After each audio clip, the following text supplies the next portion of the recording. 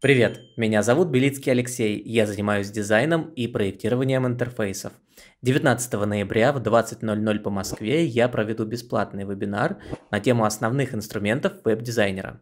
Мы поговорим, чем отличаются Photoshop, Sketch, Figma, Adobe XD, обсудим основные инструменты веб-дизайнера, какие календари, заметочники использовать. Также поговорим на тему железа, какой компьютер выбрать и так ли дизайнеру нужен MacBook. А в конце вебинара мы с вами побеседуем в формате вопросов-ответов. Регистрируйтесь на вебинар. До встречи!